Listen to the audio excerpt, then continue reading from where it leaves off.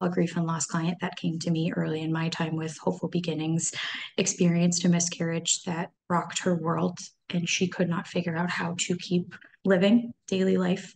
She and I worked together for a tremendous amount of time. Her strength just continued to build. Her relationship with her daughter flourished. Um, and as I was ready to let her little wings fly, she shared with me that she was expecting and she was pregnant again. And as joyful as she was, I think she was equally as terrified. And so, normally, when those services would have terminated, we kept right on going with that prenatal anxiety of helping her manage those fears while her body grew this child to the point where I answer the phone, I'm hearing beeping, I'm hearing things.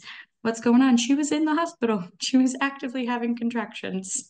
I said, ma'am, we can reschedule. And she said, no, no, no. I knew I had session and I needed your support. And to me, that is just one of the many examples of the ways that we can support our clients in such a wraparound way.